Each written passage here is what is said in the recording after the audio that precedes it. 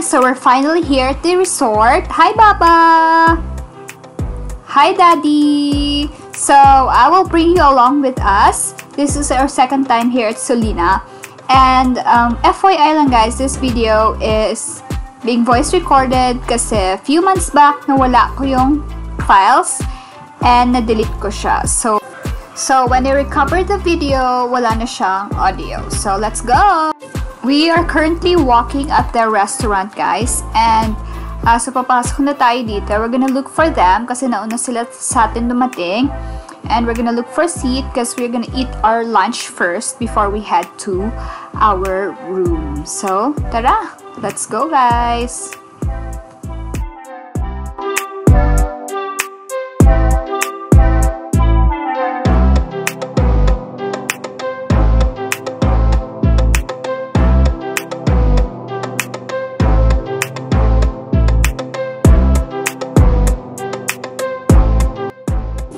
Alright, so nandito na tayo sa room. Hi, Daddy! So, iikot ko kayo, guys. We're, we still got the same room. Ayan, C2 as you can see.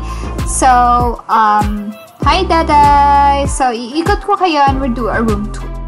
Right, Irvin. Hi, Daddy! So, ayan. Irvin's waiting for the van kasi kukunin niya yung mga gamit natin on. As you can see, we're still at C2. Dito din kami last time. Hi, Baba! And they also have a chair here sa labas. Hello, little Baba Bear! Hi, Daday! Yan si Kaylan, guys. Naglalaro na siya dito. Maliit pa siya dyan. Nung pumunta kami. Ngayon lang na-upload. Okay, so you have tables here. Hi! Kita niyo ako. Then we have a small ref. We have TV. Extra na bed. Na chair actually na may pull out. Then the bed. Diyan yung lagay ng stuff. And then, meron tayong side tables with lamp, aircon. And to your left, dito yung CR ng room. So yun siya guys. So pasok mo. Ayan lang siya. It's simple. You have towels. Ayan, simple lang. And there's Kaylan again. Okay. Whew, sobrang init, no? But nilagay na namin yung gamit namin dyan. Just waiting for Irvin for uh, natitirang mga gamit na naiwan doon sa lobby ng hotel. So, yun guys, I don't know how much we paid this time for this room. Kasi, um, brother was the one who booked this for us. Kaya, I do not have an idea. Pero, uh, magre-relax lang tayo ng very light dito. And, we will, uh, pagdating ni Irvin, we will arrange our things and then we will go out after. Okay. So, yun lang guys. Yan. Hi, Baba. Kailan's playing on the floor. Pero, sinat san sinanitize naman na namin yan siya, guys. For his safety and for our safety as well. Yan, naglalakad na siya palayo. Cute, cute. Now, we traveled uh, about 3 hours papunta dito from Iloilo City. Hi, guys. So, we're settled in and nakapag-bis naman na kami. So, we're gonna walk papuntang beach. Yes, we're gonna swim and take photos. Yan. Tingnan niyo si Kaylan, bit-bit-bit-bit ni daddy niya. So, I'm wearing this white um, polo na may lamang black swimsuit inside with a hat and some accessories. So, yun lang. Maglalakad na kami. We're gonna take pictures.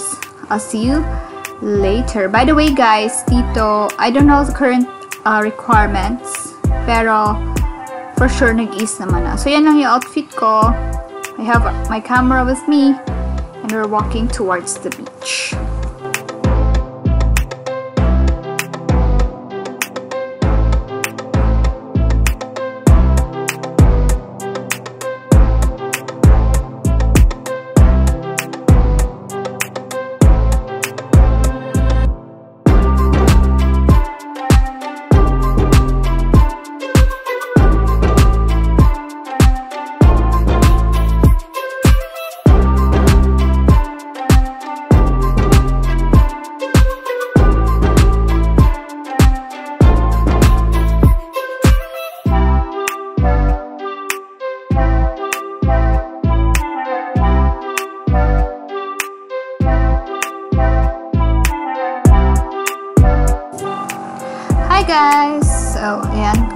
Outfit. He's wearing white polo and shorts. And here's my LOTD.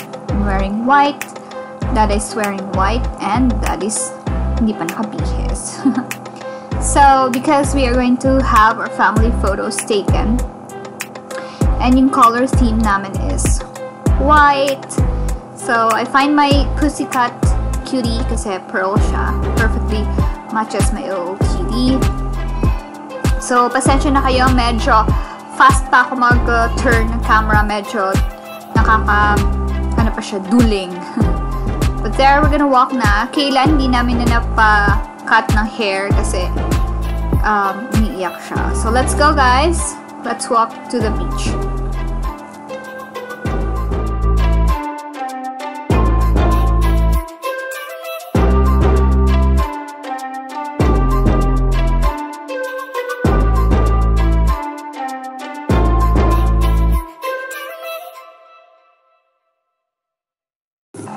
Good morning guys! Good morning daddy! We woke up early today because we are going to the pool. Unahan natin sila guys. While everyone's still asleep and yung iba naman kumakain pa sa restaurant, mag-picture na kami para hindi nakakahiya.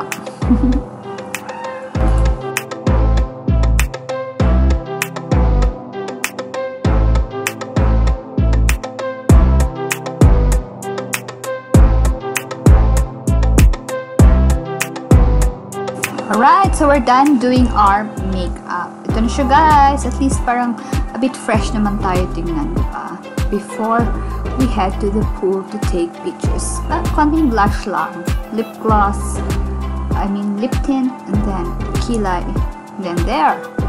Perfect. So, yun na guys. We're walking towards the pool. So, I'm wearing, as you can see, um, my, my shells necklace. Tapos, I'm wearing my red swimsuit, a bandana in my head. Na naglalakad na kami, hoping na wala pang tao sa pool para makapag-picture. Picture tayo. So, yan lang. Yan, Irvin, si Irvin, what-what ni daddy niya. He's still wearing his sleepwear. Kapantulog pa, gagala muna kami dito.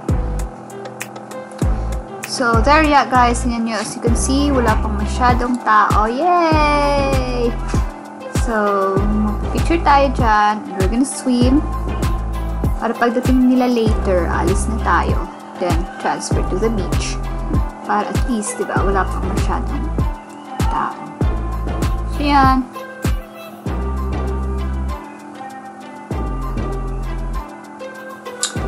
What you can do dito sa Salina talaga is just to relax. There's not much activity here.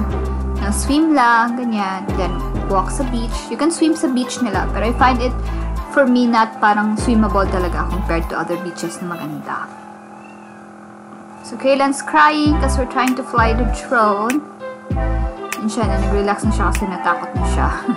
so, Irvin's trying to to get some drone shots dito sa resort.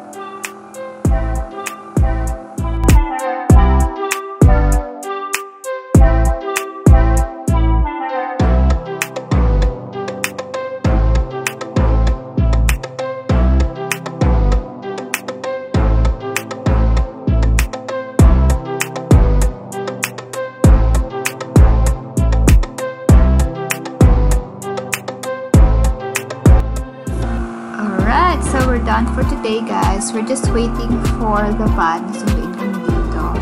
We're gonna go home now. We enjoyed our stay here at Solina and we're hoping to be able to go back here some other time para mag-relax and mag-chill lang dito. But so far, the experience is good. Super, super highly recommended. So, Daddy's here na. We're here na sa car, guys. So, we- dito na tayo sa Iloilo City. We traveled 3 hours pabalik. Hi, Boba Bear! Kailan so cute. Ayan siya, oh. Masarap kulutin ang face niya, no? But again, thank you so much for watching this video. I hope you enjoyed as much as we enjoyed this trip. um, yeah, I'll see you on our next vlog. Bye, guys! Mwah.